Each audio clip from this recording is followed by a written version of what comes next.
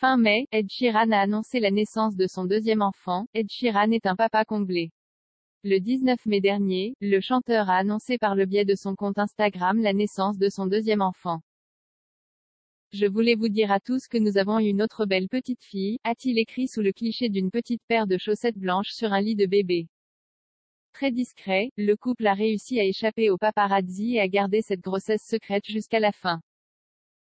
Ce mardi 12 juillet, une source proche de l'artiste a révélé à The Sun le prénom de leur petite fille.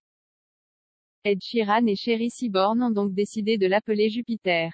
Un prénom original qui a séduit l'entourage du couple, ils ont adoré le nom à la fois par rapport à ce qu'il représente mais aussi du fait de son caractère unique, a expliqué la source.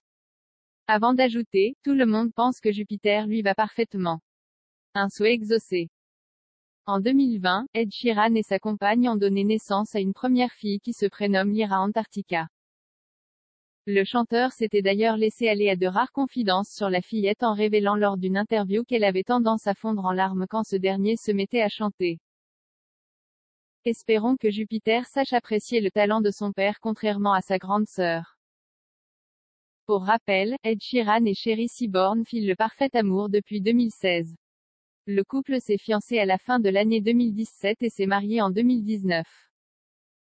En 2021, après avoir accueilli sa première fille, l'interprète de Choi Pong-yu avait confié son désir d'avoir un autre enfant. J'ai l'impression que nous avons déjà eu tellement de chance d'avoir un enfant alors évidemment, j'aimerais en avoir plus.